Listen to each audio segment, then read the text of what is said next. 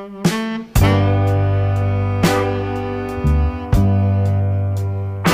welcome back to my blog AD's English Literature. I am Ardhendu De. Today we are going to read a kind of a critical analysis of the title of William Shakespeare's play As You Like It. You most probably acquainted with this beautiful romantic comedy by William Shakespeare. Today I am going to analyze how far this title is going to suit our purpose of reading this affluent romantic love story. As You Like It is a light-hearted comedy which appeals to the readers at all stages, all in lighter moods. It pleases some by its idyllic romance, others by its optimistic philosophy of simple goodness, and yet others by its cynical ironies. Indeed, you can take this as you like it. These are not my words. This is J.B. Harrison's beautiful lines that sum up as you like its very purpose of writing or the beauty of the drama is. It is always seen that the titles of the plays of William Shakespeare are less significant than the plays themselves. However, while analyzing the title of As You Like It, it can be said that uh, William Shakespeare uses this title in a spirit of playfulness. On the other hand, he seems to be saying in a light-hearted vein to his audience, here is something to your own taste. Indeed, the title promises a kind of an entertainment and the heartiest delight and it solicits uh, the approval of the audiences. So please come here, be seated. He appeals to the Elizabethan audience and bids them to enjoy this full-hearted romantic comedy as you like it. Again, most interestingly, the title suggests not merely the theme of the play but also the attitude towards the play. It also reminds us the subtitle of his play, Twelfth Night, What You Will. You probably know the theme of the Twelfth Night. Again, it looks that the title was probably suggested by a play in Lodge's preface to his novel Rosalind and this particular Rosalind or a kind of a semi novel uh, from which William Shakespeare copied this story. Particularly the epistle dedicatory uh, to the gentleman readers. However, the significance of the title is apparent from the epilogue in As You Like It. We must quote these lines here for better understanding. I charge you, O women, for the love you bear to men, to like as much of this play as please you. And I charge you, O men, for the love you bear to women, as I perceive by your simpering none of you hates them, and between you and the woman the play may please. The title of As You Like It was particularly suited to the do as you please atmosphere of the forest of Arden, a place where different kinds of persons go about happily seeking their own different kinds of satisfaction. The title refers to the carefree life of the Arden forest, where each one is at liberty to live as he pleases and what he desires.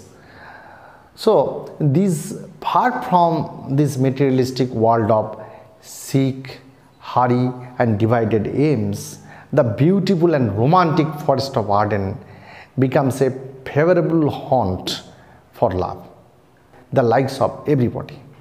There are merry notes unto the sweetest bird's throat and all the merriments are there. All the lovers are making loves, all the lovebirds are being united even those evil-hearted are also coming into the forest of Arden and get exchanged.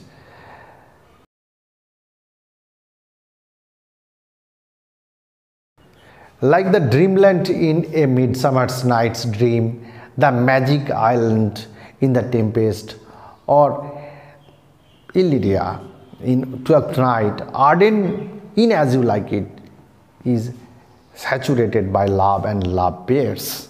The amorous lovers in the scene are Rosalind Orlando, uh, the Celia Oliver, Faye Silvius, Audrey Touchstone, and even uh, we can have uh, so many of the natural landscape that are with full of fruition and comedy and it all ends in a ringing of marriage bells love is love love is life's greatest joy and greatest healer romantic brotherly humanitarian love all brings great joy to the major characters in the play after they abandon their ill feelings for one another and open their hearts.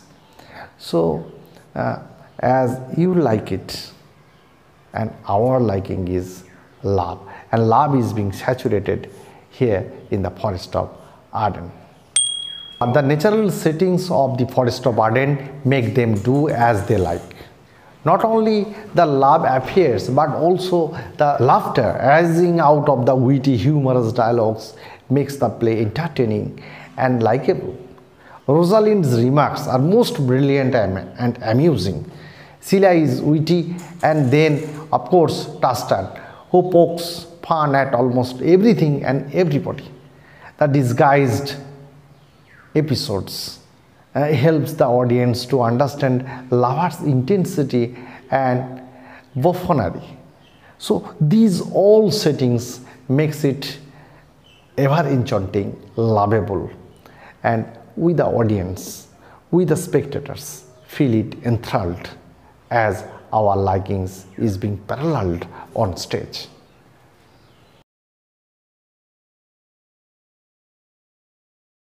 Shakespeare tries to please his audience with their likes in certain makeup of the plot.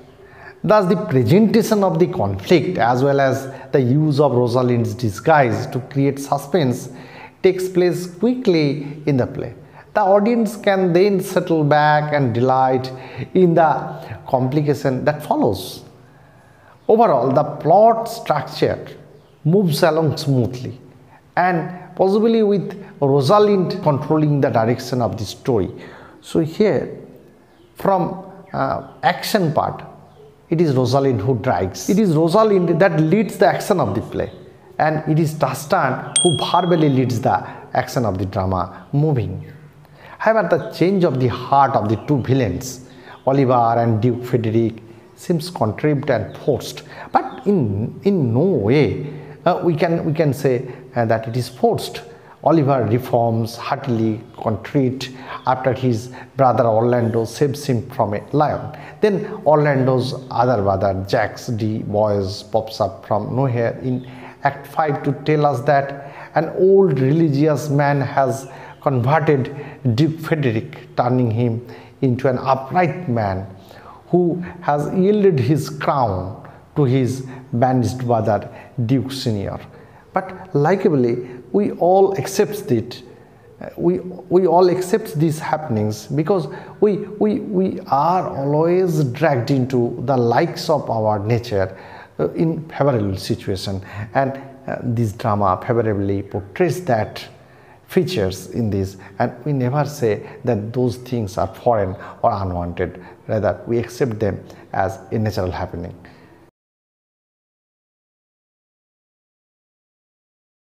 the title also strikes the chord of the play as you like it shakespeare's purpose is not to write it for the didactic purposes the play is not a problem, a moral tract, and least of all, an advice.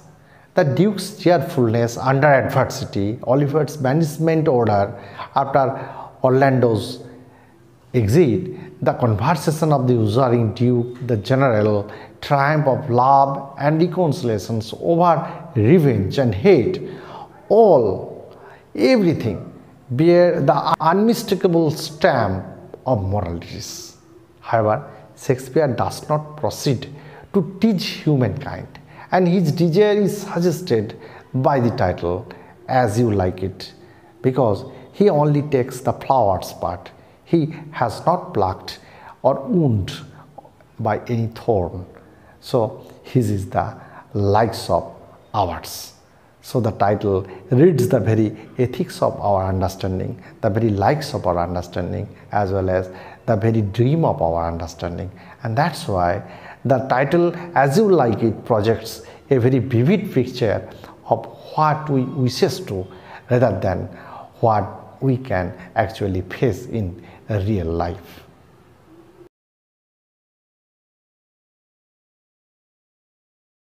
So I think this little bit of discussion will enrich you in understanding the very title of as you like it.